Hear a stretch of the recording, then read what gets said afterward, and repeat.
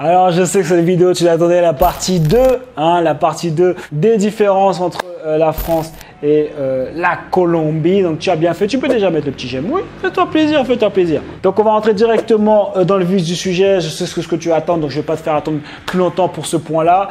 Au niveau des femmes, est-ce que je pense toujours que les femmes sont belles en Colombie ou est-ce que mon avis a changé? Parce que j'ai déjà bougé dans d'autres pays. Est-ce que mon avis a changé? Parce que je suis allé au Brésil, je suis allé au Thaïlande. Alors Joe, est-ce que tu as changé d'avis? Est-ce qu'elles sont toujours belles? Est-ce que qu'est-ce que tu en penses? Voilà ce que j'en pense. J'en pense que les Colombiennes sont l'une des plus belles femmes au monde. Ce sont les plus belles femmes au monde. Si ce, n'est les plus belles femmes au monde. Voilà. Alors je sais qu'il y en a qui, qui sont euh, attirés énormément par tout ce qui est euh, les femmes en Ukraine ou en Russie, enfin toutes les femmes de l'Europe de l'Est. Pourquoi pas? Voilà. Après, ça dépend ce que tu aimes. Mais quand même, les femmes colombiennes, après vénézuéliennes, même combat. Hein. En plus d'être féminines, ce qui est le cas sur la plupart des femmes en dehors de l'Europe, euh, euh, de, l'Ouest et, euh, tout, à l'Ouest aussi, hein, États-Unis, Canada. en dehors du fait qu'elles soient féminines, elles sont aussi super attentionnées, elles sont, elles sont super agréables, elles sont sexy. Donc, il y a tout ce qu'il faut. Elles ont pas mal à la tête, ça c'est sûr et certain. donc, franchement, c'est difficile d'être en compétition avec ce genre de femmes. Et pour tous ceux qui pensent que ouais, mais c'est des bimbos, etc., il y a de tout en fait. Il y a des femmes, oui, c'est des bimbos, ouais. Après, c'est sûr aussi, tu viens à Medellin, il fait chaud. Donc, euh, ben, elles s'habillent en conséquence. Hein. Il suffit, comme elles sont bien foutues, il suffit qu'elles mettent, un jean, ça y est, ça y direct, euh, bon, ben, voilà. Et après, pour revenir, ouais, pour ceux qui pensent que ouais, c'est des bimbos, etc., euh, les femmes de l'Est, etc., c'est sûr que c'est des femmes différentes. Je pense que je connais pas trop, mais de ce que j'ai entendu des femmes de l'Est, elles sont peut-être un peu plus réservées ou voilà, elles seront peut-être moins sexy, un peu plus en mode euh, Charlingals, hein, la petite maison à la prairie pour ceux qui ont la référence. C'est sûr que si c'est ce que tu recherches, ce sera pas le genre dans la maison. Ça, c'est sûr et certain. Après, au niveau des corps, faut, faut pas croire qu'elles ont toutes des fessiers énormes. Il y, a, des filles qui ont des, fessiers normales et il y a des filles qui ont des, plus gros fessiers. Il y a de tout. Voilà. Non, mais je préfère parce que je sais qu'il y a des bimbos. Non, non, non, ça dépend. Bon, par contre, parce que ça, je te l'avais déjà dit dans l'autre vidéo, ok, c'est des femmes qui sont belles, euh, pas de souci pour ça, euh, elles sont au courant. Non, mais je te le dis, pas, voilà. elles sont au courant et euh, il faut faire attention. ok? Il y a ce qu'on appelle les femmes malasses. Alors, c'est quoi une femme malasse Alors, il y a plusieurs degrés. Il y a les, meufs qu'on appelle les prépagos. Donc, en fait, en gros, c'est des sortes de prostituées, tout simplement. Et il y a une autre catégorie, c'est plus des femmes, en fait, qui euh, ont plusieurs gars. Donc, elles te font croire que tu es leur gars, mais en vérité, elles ont plusieurs hommes. Comme ça, elles se font entretenir par plusieurs hommes. Et je peux te dire que c'est des professionnels, tu vas rien voir du tout. Si jamais tu n'as jamais pris de Zeus en description, voilà, les secrets de la nature féminine, mais tu vas te faire... Tu vas rien voir. Euh, tu vas rien voir. Alors, je te le dis. Elle va arriver, mis à mort, la nani, tu vas te sentir comme un king, elle va te faire à manger pendant la danse de reggaeton en même temps. T'es cuit, tu vas rien voir du tout. Et en même temps, elle aura plusieurs gars. Et ça, c'est pas les touristes, hein, simplement. Hein. Ça, c'est, ça, c'est même les Colombiens. Les Colombiens disent eux-mêmes, ouais, faut faire attention. Parce que c'est pas toutes les femmes euh, à Medellin qui sont, euh, qui sont, comment dire, il faut faire attention. Voilà. C'est pas parce que c'est des femmes féminines, elles sont féminines, bien sûr, mais féminine ne veut pas dire gage de euh, tu dois faire confiance, yeux fermés. Non, voilà. Après, si tu veux, je peux te donner une petite technique. Si jamais tu vois que tu lui envoies un message et que tu dis vas-y, on se voit ce soir, elle te dit ah, je préfère demain ou un truc comme ça, ah, c'est que c'est pas ta meuf. Ta meuf, tu envoies un message et tu lui dis on se voit ce soir, elle dit ok. Mais comme les gars sont aveuglés, ah, elle est trop belle, ah, elle est trop bien, oh là là, elle me met trop bien euh, dans le lit, donc ça y est, t'es perdu. Après, autre indication aussi facile, ça c'est un petit conseil au passage, tu vois, j'avais même pas prévu, mais c'est cadeau les gars. Ça me fait plaisir. Bah, par exemple, bah, si jamais elle n'a pas de travail, tu sais que tu dois faire attention. Si jamais elle est toujours en soirée le week-end, en fait c'est du bon sens.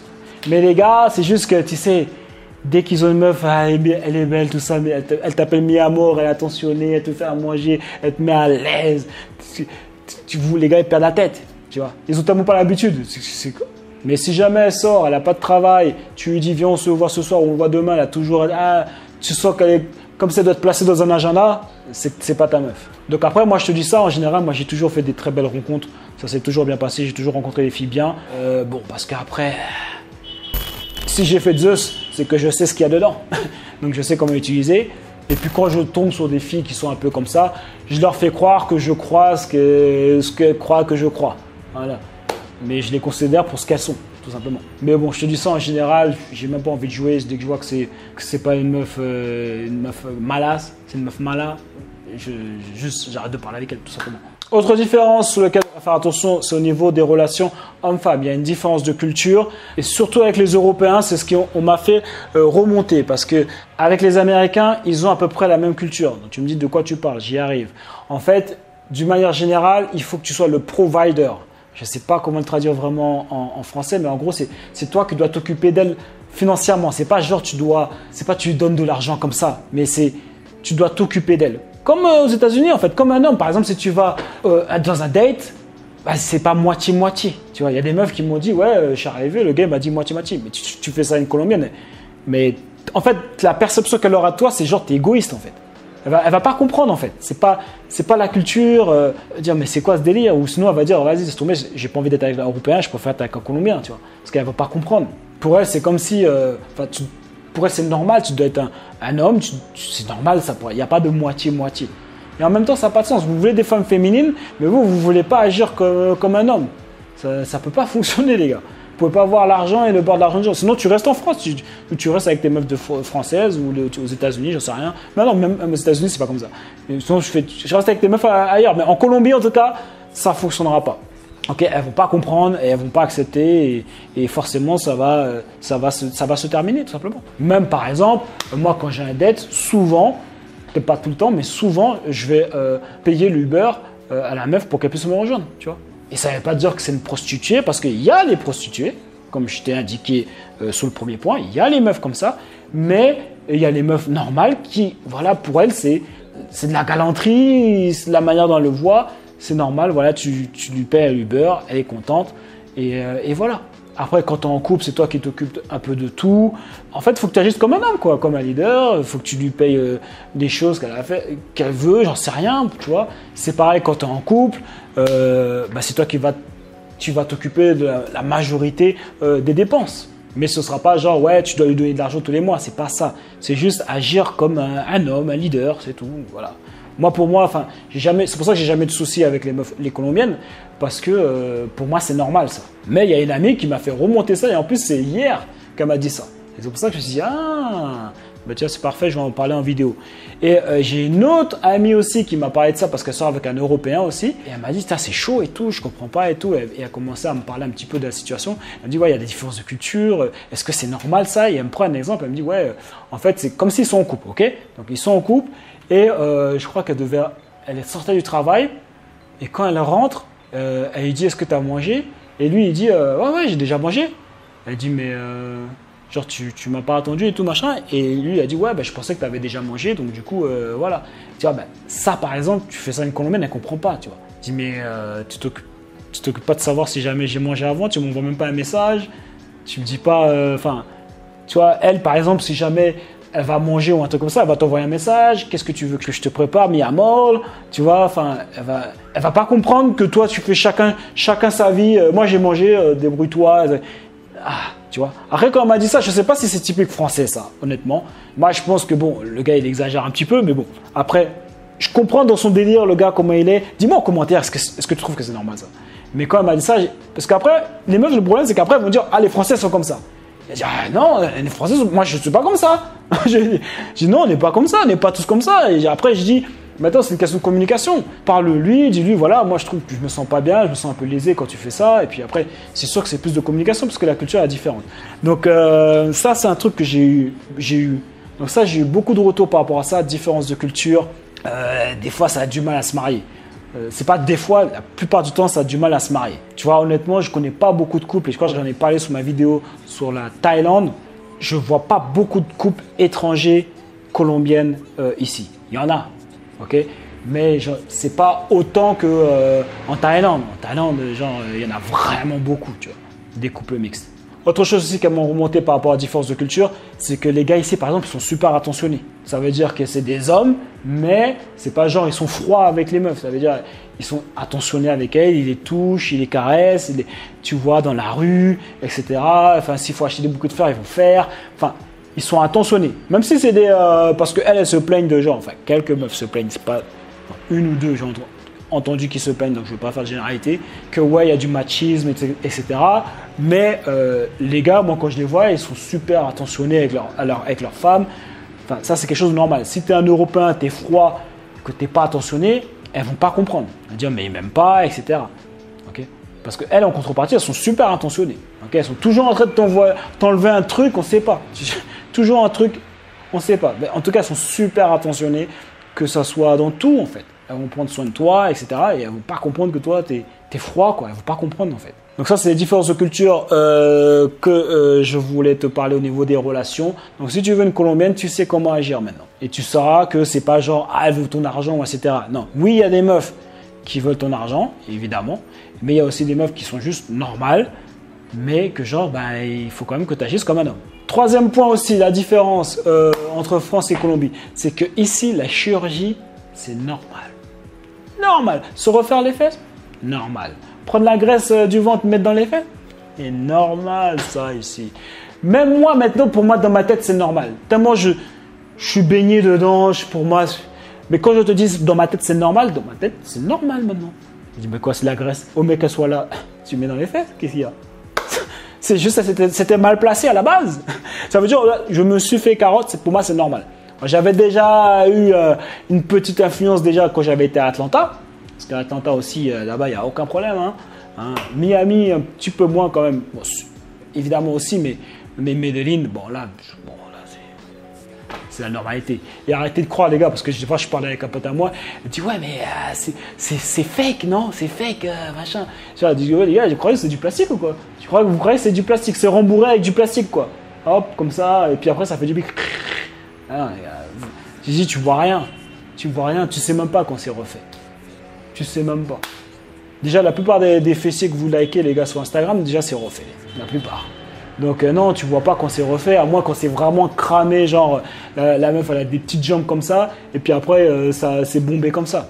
Il y a encore des fois, il y a des gars qui voient pas. Parce que des fois, il y a des potes à moi qui me disent, comme ils savent que bah, j'ai un peu une référence, voilà. Bon, un peu de référence, c'est vrai, voilà, dans tout ce qui est, voilà fessier, bref. Donc des fois, mes potes, ils m'envoient, ils disent, tu penses que c'est refait ou pas? Je dis, bah les gars, c'est refait. Des fois, je vois des photos, je dis, mais les gars, c'est cramé. Mais il y a des fois, tu peux pas, tu vois pas. Même moi, qui suis un spécialiste, ah, spécialiste, hein, des fois, je vois pas. Des fois, je sais pas. Il suffit que la meuf, elle des, de base des bonnes cuisses, elle a refait ses fesses, donc ça fait tout est homogène. Tu vois pas, tu vois juste qu'elle est bien foutue. C'est juste après, si tu réfléchis, tu te dis, mais est-ce que c'est possible d'avoir un corps comme ça réellement? Parce qu'en vérité, c'est super rare. En fait, j'avais vu un, chirurgien qui parlait de ça. Il me dit, mais ce, genre de corps, genre avoir un cuisse, un, fessier bombé comme ça, euh, en vérité, euh, c'est quoi? C'est 2% de la population. En fait, c'est du dessin animé, les gars. Hein? Bref, en tout cas, euh, ici, c'est normal. Je suis même plus choqué. Même toutes les meufs, c'est pas genre les meufs un peu genre moins éduquées, etc. Tout le monde, toutes les meufs, de quel que soit le niveau social, c'est normal. Euh, j'ai parlé plusieurs fois. Euh, ouais, ouais, je vais faire la chirurgie. Euh, ça, c'est rien. L'hyposuction, mettre dans les fesses, c'est la normalité ici. C'est cadeau, c'est normal. Alors, je sais que tu veux que j'en parle. Ah, allez. Je suis toujours le seul. les gars, après, les gens vont croire que je suis un charreau, les gars. Hein. c'est pas ça, je suis pas ça. Bref, alors je sais que tu veux savoir. Est-ce qu'au toucher, est-ce qu'il y a une différence? Au toucher, il n'y a aucune différence, les gars. C'est pas un sac plastique. Non, tu verras jamais, tu sentiras jamais. Déjà, tu, tu vois ni la différence à l'œil, à moins de vraiment connaître, et au toucher, c'est pareil.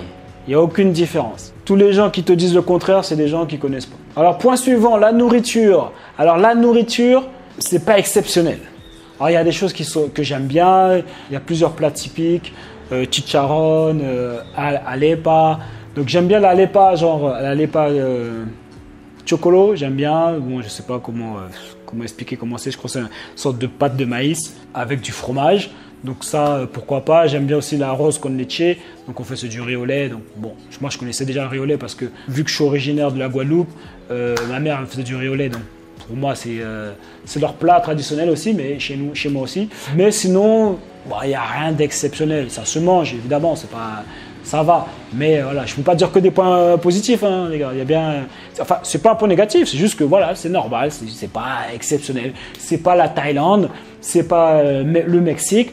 Euh, le Mexique, la, la, la, bouffe est super bonne. Thaïlande, la bouffe est super bonne. Bon, voilà, euh, Colombie, voilà, ça va. Autre point aussi qui déchire à Medellin, c'est le temps. Le temps, c'est énorme. C'est, je crois que c'est le meilleur temps qui, existe au monde. Ça veut dire qu'il fait ni trop chaud. Tu vois, Miami, des fois, il peut faire un petit peu chaud. Ou même aux Antilles, il peut faire. Aux Antilles, il fait grave chaud. Mais ici, c'est genre, il fait chaud, mais il y a de l'air. Tu peux mettre un t-shirt, mais c'est pas genre tu sors, tu transpires direct. Le temps, il est parfait ici. C'est vraiment euh, magnifique. Et ça, c'est toute l'année. Et le dernier point euh, qui est bien euh, par rapport à la Colombie, bah, c'est le coût de la vie. Alors le coût de la vie, si tu veux savoir, si jamais tu vis en Airbnb, et même si tu ne vis pas en Airbnb, parce que ce qui va se passer, c'est vu que tu es touriste, que tu es un étranger, il va falloir que tu loues des appartements bah, dans les endroits euh, touristiques, les endroits côté en fait, tout simplement. C'est-à-dire l'Ores et El Poblado. Et là, il faut que tu comptes au moins euh, un 1000 dollars euh, par mois. Par contre, tu seras bien placé.